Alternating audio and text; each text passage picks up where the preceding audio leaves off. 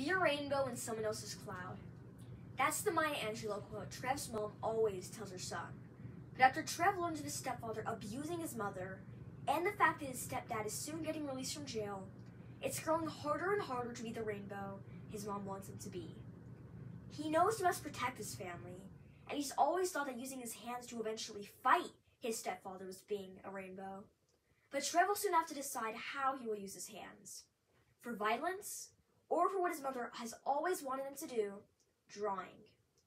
And after walking home from his uncle's house, he sees a sign saying, It takes a village. But Trev doesn't believe he has a village. All he knows is that he'll need to fight to protect who he loves. But soon, Trev comes to realize who his true village is. He's made his decision. But with his stepfather coming home from jail this month, Trev can't stand to see his mom hurt again. What happens next? How will Trev use his hands? Read Hands by Torrey Maldonado, coming January 24th, 2023 to find out.